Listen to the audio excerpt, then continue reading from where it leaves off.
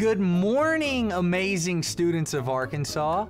I am Trey Suskie, and today we will be identifying the similarities and differences in traits shared between offspring and their parents or siblings. First, let's discuss traits. What are they and how do we get them? Hmm.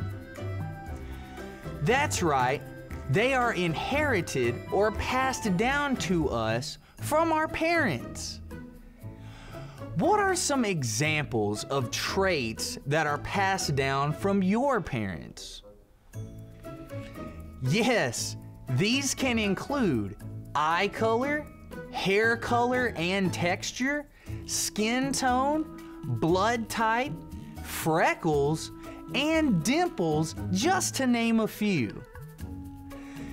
Now that we understand traits and how they work, how are they passed down and what are the chances you will get a specific trait? The chances of getting a trait is based on whether the trait is dominant or recessive. Now, what do these terms mean? Dominant traits will always override or hide recessive traits, even if only one parent has it. Recessive traits will be hidden by dominant traits. So both parents must have the recessive trait for it to show up. But even then, it's not guaranteed to show up in the offspring or babies.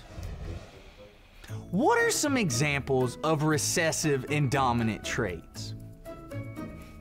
Dominant traits include brown or black hair and brown eyes.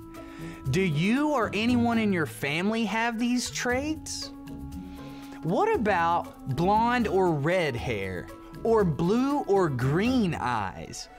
If you have these traits, then recessive traits have been passed down to you. If you have freckles, you have the dominant trait.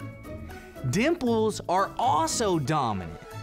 Take a look at these examples we have explored, plus a few more. So we have widow's peak and no widow's peak. Widow's peak is dominant, no widow's peak is recessive. Next we have freckles and no freckles. No freckles is recessive, and if you have freckles, that's dominant. Now your eye color. If it's brown or blue, brown eyes are dominant and blue eyes are recessive. Next, we have no cleft chin or a cleft chin.